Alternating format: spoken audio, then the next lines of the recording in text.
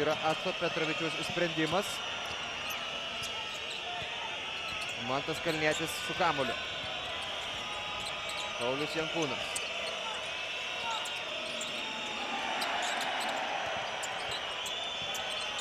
Kažkurioje vietoje įstringa Žalgirio komandos derinys ir viskas baigėsi improvizacinis paskutinė atakos sekundė. Šį kartą viską iki galo sugeba padaryti Martynas Pocius, jo reidas po krepšiu.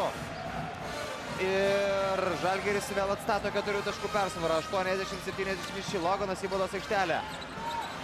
Ir prie tritaškio linijos stovėjęs Martinas Rančikas ir iš ten pataiko. Neįtikėtinas Martino Rančiko pasirodymas šios dienos rungtynėse.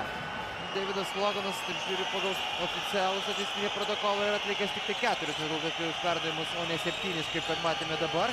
Bet kuriuo atveju dabar tas tritaškis Žalgirio persvarą nubraukė iki minimumo 2 minutės ir 27 sekundės iki ketvirto kelnio pabaigos. Kalnietis.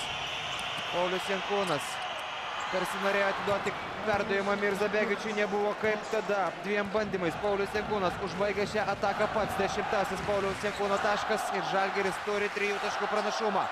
Dvi minutės ir penkios sekundės iki ketvirto kelnio pabaigos. Loganas kuo arčiau rungtynių pabaigos, to dažniau įmasi iniciatyvos šis amerikietis e, su Lenko pasu, tačiau jam dabar nieko nepavyko nuveikti po Žalgirio krepšio.